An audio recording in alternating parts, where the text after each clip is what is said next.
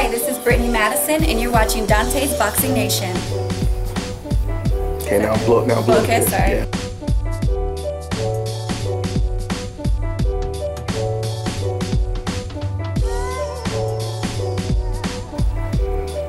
Hi, I'm Brittany Madison, and you're watching Dontae's Boxing Nation. Do one more time. And I and I close with this before um, Bradley Rios show up.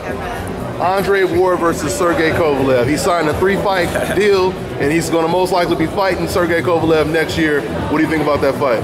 All right, being honest with that, I think uh, the fact that Kovalev has been so busy and winning so good is going to kind of help him. Ward, you know, the layoffs, the kind of some of that when you get to be you know 30 31 that can affect a fighter. Um, if you're talking overall ability matching ward against kovalev uh, I give Ward a lot of edges in the in the matchup, um, just because he's been been there so many times. He's he's he's tough, he's gritty, but he's very technical. He knows how to fight in the trenches.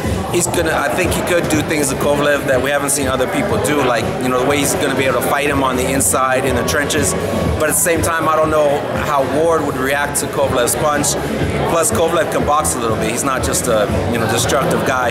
I mean, it's a fascinating fight. Um, I might just give Kovalev a slight edge on his activity at this point. He's just the momentum he has. Uh-huh. But great fight though, either way. Great fight. And, and, and, close out with your channel, man. Oh yeah. Hustle Boss, man. You uh, one of the first cats out here in Vegas that was covering the Mayweather Gym and, and all the boxes pretty yeah. much, man define your channel, man. You, you know, know, let people know about it. I've been in media game for a long time, boxing game for a minute. I always got love for the boxing media game. It's a crazy jungle, but with my coverage, I'm always trying to stay on the scene. I'm always looking out for the fighters. Sometimes I get real busy. Sometimes I maybe take a little hibernation here and there, but I'm always going to be like getting great content.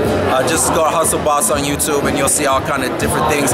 Lately, what you'll see is more kind of a branch away from boxing, but the coverage I do in boxing is going to be great, kind of more documentary style out. I'll still be all over boxing, great stuff. So check me out, Hustle Boss.